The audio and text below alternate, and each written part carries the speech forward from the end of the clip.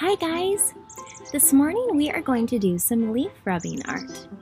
For this art project you will need some different leaves from your yard and then you will need some printer paper and you can either use crayons or color pencils. Your choice. Let's get started. Here I have a leaf from a cherry tree. And here is a leaf from a Japanese maple tree and a sword fern. I grabbed a couple leaves from my Japanese maple tree. So you will take your first piece of paper and use that to arrange your leaves on.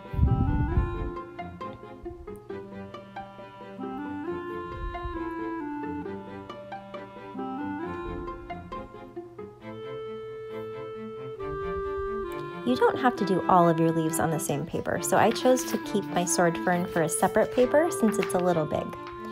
Then you'll take your other piece of paper and set it right over the top of the bottom piece of paper. So you're sandwiching your leaves in between. Now you're going to take a crayon that you have removed the wrapper from and you are going to rub it sideways over the leaves.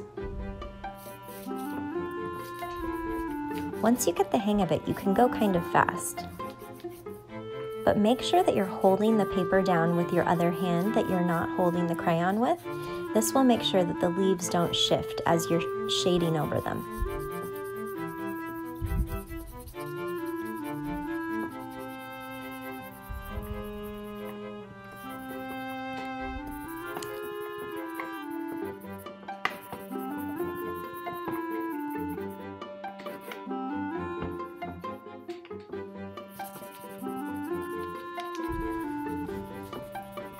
Slowly you begin to see the leaf.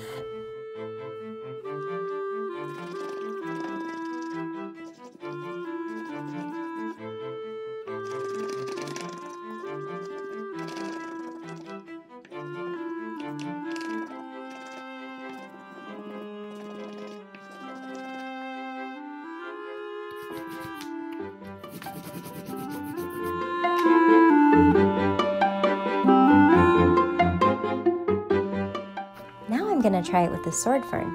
I'm going to take the leaves off of my piece of paper I used for the bottom, and I'm just going to set the sword fern right on top.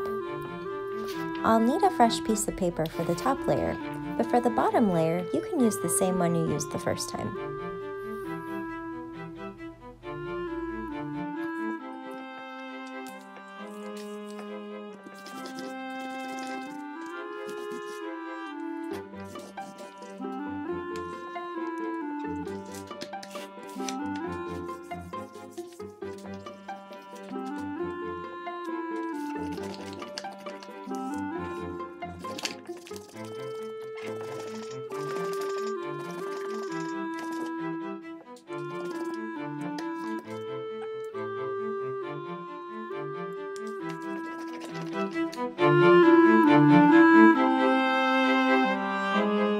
Wanted to try this one more time with some different leaves and a different color crayon.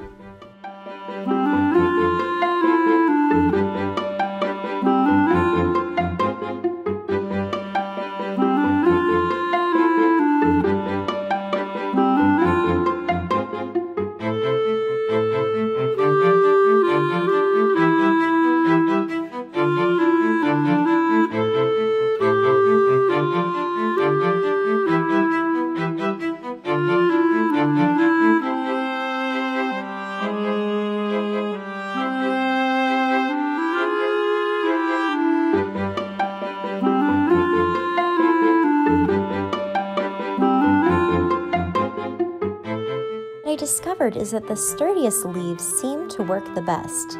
The clovers didn't work quite as well because they're pretty delicate and small.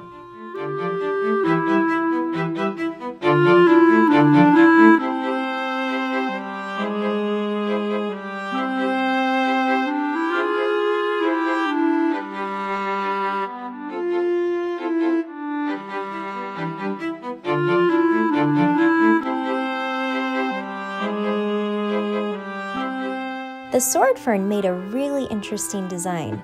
If you have any in your yard, I would highly recommend using a fern for this project. I hope you guys enjoyed this art project.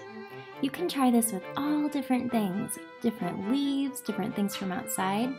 You could even try it with quarters and pennies and all kinds of change. There's lots of cool designs on money. That might be a fun one to do. If you guys try this at home, I would love to see pictures. Have fun and have a wonderful day.